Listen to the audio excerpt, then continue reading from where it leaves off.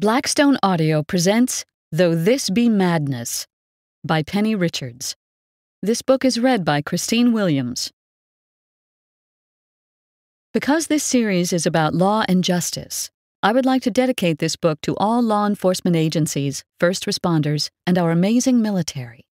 No matter their race or gender, these men and women put their lives on the line daily for little pay and less recognition or thanks simply because of their concern for their fellow man and their belief that without law we would become a nation of chaos.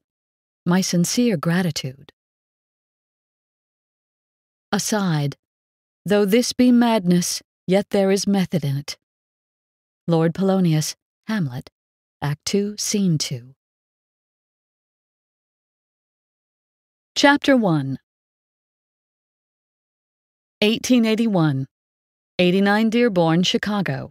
Pinkerton offices. I bloody well won't do it. The declaration came from the man pacing the floor of William Pinkerton's office. I'm a Pinkerton agent, not a blasted nanny. William Pinkerton pinned the young operative with an unrelenting look from beneath heavy brows. You haven't any choice, McShane. Andrew Cadence McShane faced his boss with a defiant expression. What? I haven't yet grovelled enough for you and your father? William stifled his own irritation at the bold statement.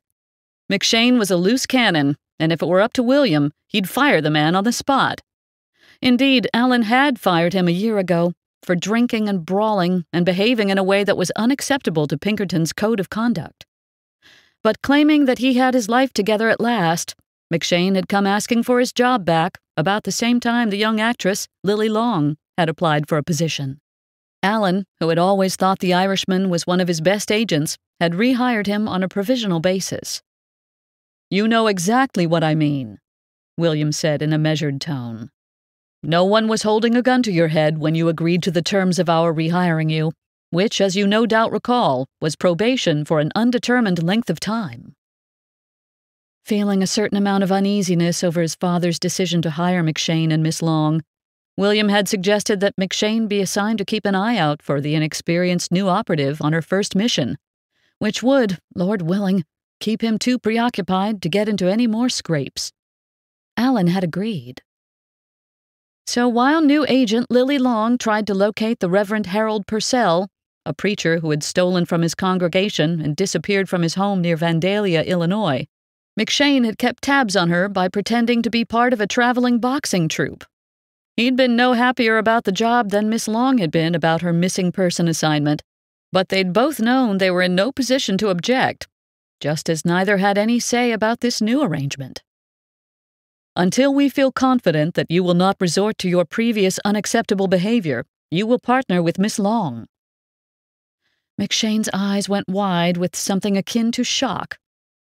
It was a barroom brawl, sir, I did not reveal any secrets or compromise my assignment in any way.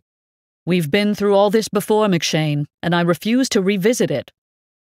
William's gaze shied away from the younger man's, which had lost its belligerence and grown as bleak as the stormy spring morning. William cleared his throat.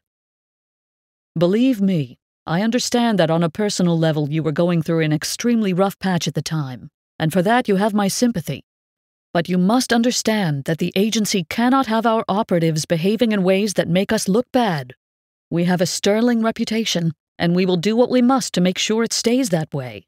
If you continue to do well, you'll soon be on your own again. All the fiery irritation seemed to drain from the younger man. Yes, sir. Actually, this assignment is one that will be best served by a man and a woman working together. Seemingly resigned, McShane took a seat in the chair across from William's desk.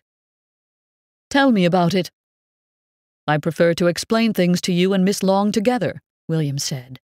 She should be here any minute. But I will tell you this much. The two of you will be going to New Orleans. The rain had stopped, at least for the moment but thick black clouds still roiled uneasily in the sky when Lilly's cab pulled up in front of the five story building that housed the Pinkerton offices. She paid the driver and, careful to step around the puddles, entered the structure with a feeling of elation. Since returning from her first assignment just a week ago, She'd been riding the wave of her success in bringing her first case to a satisfactory conclusion and basking in the knowledge that she would continue to be employed by the prestigious detective firm. She'd been more than a little surprised when she received a message that morning stating that William wanted to see her at once.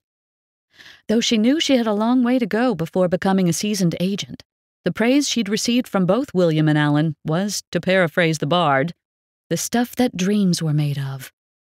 When her missing person assignment had evolved into solving a 20 year old murder, it had been satisfying to know that she'd helped bring about justice. And Allan, who loved correcting what he perceived as social wrongdoing, had been quite satisfied that things had been made as right as humanly possible. She was eager to embark on her next mission. Pausing outside the doorway, she tucked a loose strand of red hair beneath the brim of the straw hat she'd purchased as a treat We hope you enjoyed this preview. To continue listening to this audiobook on Google Play Books, use the link in the video description.